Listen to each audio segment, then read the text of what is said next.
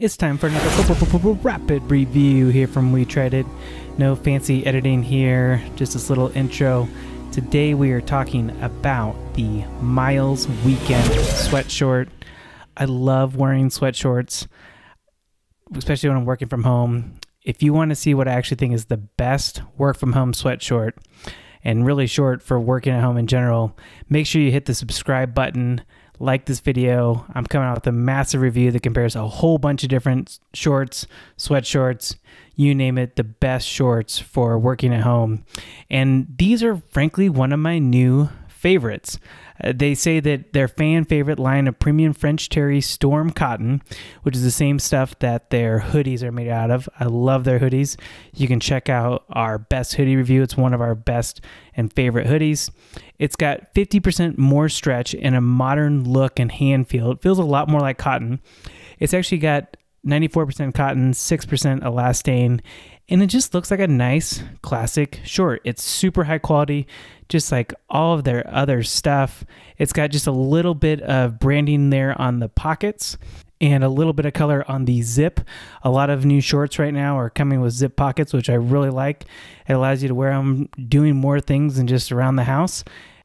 It also has a pocket in the back as well. I have this short in the Heather Cole. It's also got some great classic colors. We're huge fans of Myles clothes in general. One of the main reasons they have a five year quality guarantee.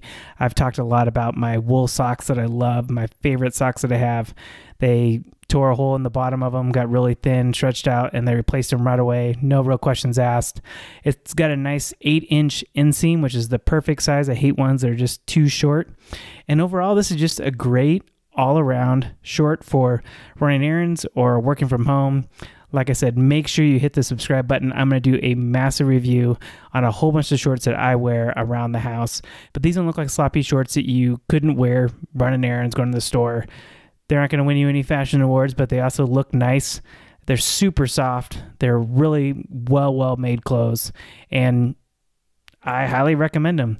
Only thing is, they're 68 bucks, a little bit more on the expensive side, but like I said, it comes with the five year guarantee from Myles, and so I really don't have as much problem spending that kind of money on high quality products if I know they're going to last. These also are water repellent.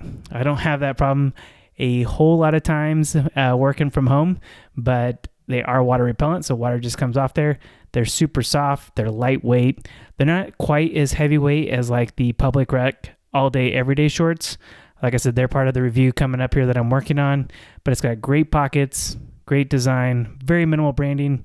It's got the logo just above the pocket in the same color. You can barely see it, so it passes our test there.